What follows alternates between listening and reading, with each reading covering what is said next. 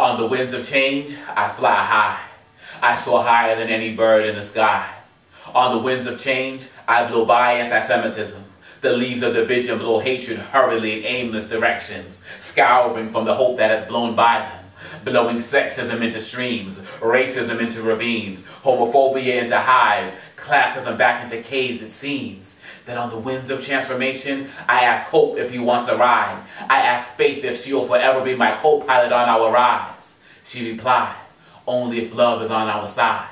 On the winds of change, we blow by disdain, leaving fear in our wake on hope's horizon. As one nation we're rising, as one world we will soar, embracing life's challenges as one, whether rich or poor. For change knows no religion, is related to no race. Change only roots itself in the soil of certainty.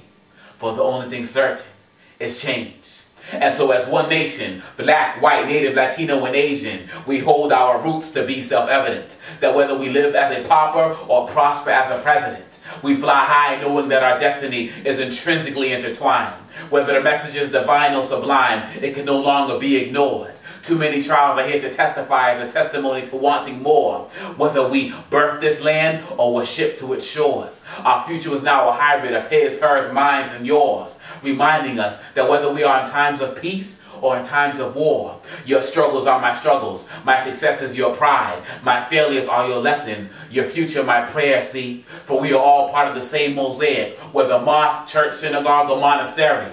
Necessary is now. Negativity is negated. For the separation of hate has replaced a nation once segregated.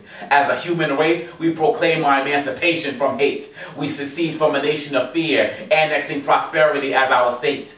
Malcontent no longer has a tenth on our continent. From histories told and untold, we have built our own content. On the winds of change, a cool breeze comes to town. Profound in its sound, just a silent siren of words. This wind has a wingspan for a nation to fly on, shoulders broad enough for all of us to cry on, arms long enough to carry us across the threshold, and eyes wide enough to see what the future may hold. But most importantly, this wind of change has a humble heart, beating fast enough to breathe into our nation new life, new hope, a new start on the winds of change.